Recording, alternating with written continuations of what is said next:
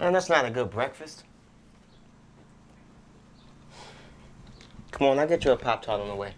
You taking me to school today? My school's canceled. For what? Special holiday. Dre, I, I need you.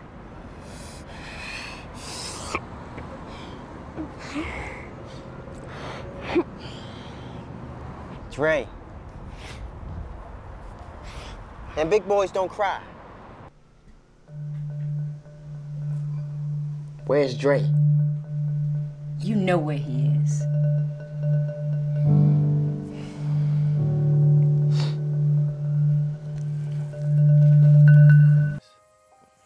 My mom's. Come on.